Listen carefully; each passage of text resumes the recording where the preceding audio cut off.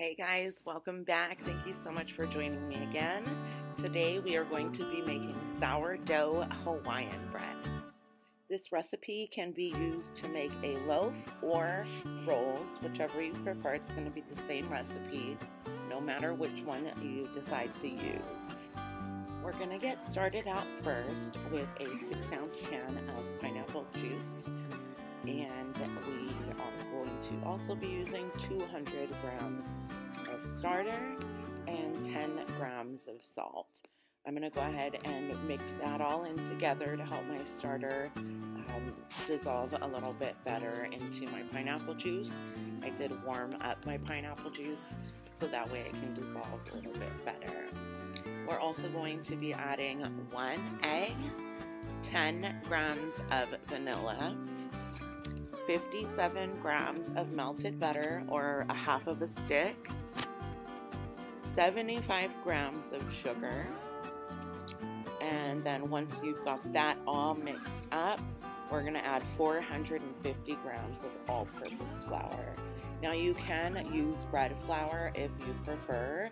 The difference really with bread flour and all-purpose flour is that your bread flour is going to be stronger with more protein. It's a little bit more dense than your all-purpose flour.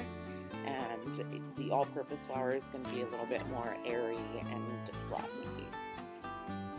So once you've got all of that mixed up together, I just like to scrape down the sides of my bowls. I am going to go ahead and give it a cover and then set my timer for 20 minutes and I'm going to stretch and fold every 20 minutes for the next hour or so. And I really just do my stretch and folds until my dough strength is built, until my dough passes the window pane test. Once my dough doubles, then I am ready to begin shaping. Now with this batch that I'm showing you here, this one is going to be one of the loaves. So doing your regular um, stretch and fold until your dough is nice and strong. And then we're just going to laminate it into a rectangle, folding it over itself, and then rolling it up. And I am going to stick that into my Pullman pan.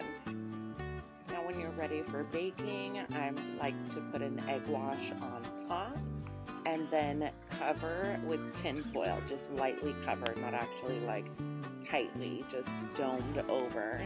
So that way your bread doesn't get too brown. You're gonna bake that on 375 for a total of about 45 minutes.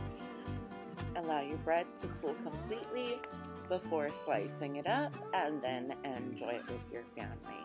Thank you everybody for watching and I will see you next time.